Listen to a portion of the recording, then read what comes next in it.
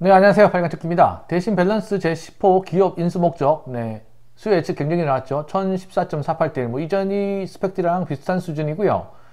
어, 공모일은 월요일, 화요일인데, 공모금액은 100억 원, 125만 주 1만 배정이고, 증거금은 100%고, 3년 후 상패하면 한 주당 예상급이, 예상 지급, 예상 금액이 2028원. 자, IPO 스탁이죠. 사이트. 네, 일정을 보면은, 네, 어, 유진 7호와 대신 밸런스 제, 유진 7호가 환불이 되면 대신 밸런스, 예, 10호를 넣으면 되는데, 10호를 넣게 되면은, 뭐 돈이 많으면 상관없겠지만, 좀 자금이 모자란 분들은, 어, 현대중공을 못 넣죠.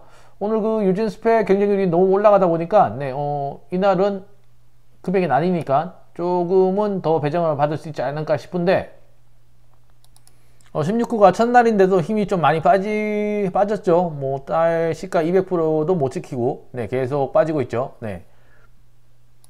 예, 스웨치 결과를 보면은, 네, 1014.48대 1이고, 어, 가격 분포는 뭐, 이거는 별 의미가 없고요. 다 2,000원에 그냥 올라오는 거니까요. 미하계약, 하계약 보면은, 네, 38억이고, 네, 3억, 33억이죠. 그러면은 뭐, 한 90%, 80% 이상이, 네, 어, 80% 이상이 90% 가까이가 미하락이다. 뭐 그렇게 그 의미, 의미는 있는 숫자는 아니고요. 네, 일단 경쟁률은 그대로 가는데 비슷하게 가는데 어, 스펙들이 예전 같지 않게 어, 신규 상장 스펙들이 힘을 못 쓰고 있다. 이런 부분들. 네.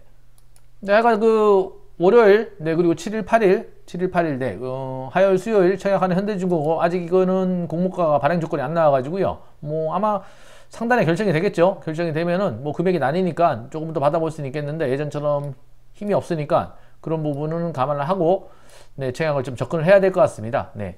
어차피 어, 스펙의 인기가 떨어지고 추후에 어, 뭐 예전처럼 시가가 2,030원, 50원 이렇게 시작한다 그러면 예전처럼 다시 또 뭐 100만 원, 200만 원 담았다가 1년이고 2년이고 기다렸다가 오르면 팔면 되니까요. 네.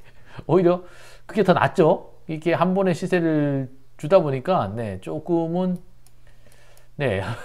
받아 배정받는 게 없으니까 예전이 좀 그립긴 해요, 사실요. 네. 어, 영상이 도움이 되다는 구독과 좋아요 부탁드리고요. 네, 오늘 유진 청약 잘하시고요. 네.